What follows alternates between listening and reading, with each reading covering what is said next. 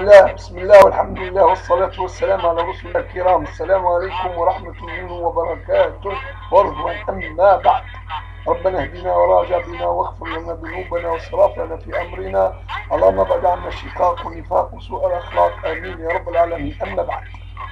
أشير بعجالة إلى خطر جاهل هو أن الشباب في الأرض الإسلامية بين ظفرين ممتحن أي متوجه نحو آه، إثبات وجوده حقيقة بالقوة وقوة السلاح لازم الأمر وهذا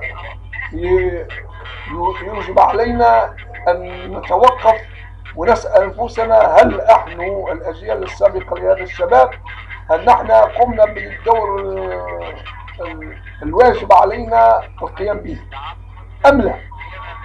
عموما أرى أن وجوب الشباب عن اتباع القادة الحاليين سواء كان في مصر أو تونس ولا لماذا هذا هذا النزاع؟ لأن الأجيال السابقة ظلت الطريق عموما ولم تفقه أن الله يبقى إله وهو الباري لكل شيء وهو سيد على كل شيء وهو البصير بكل شيء وهو العليم بكل شيء وهو الرقيب وهو الحسيب.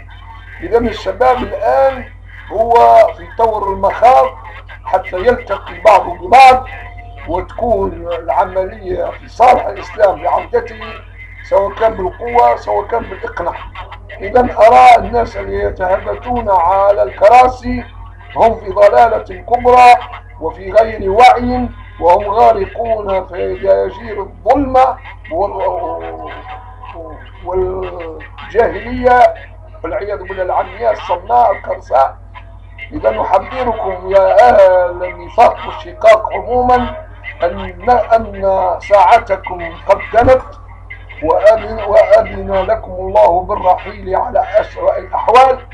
أنا من أهل القرآن أحذركم من ما سيأتيكم في أقرب زمان والسلام على من اتبع الهدى.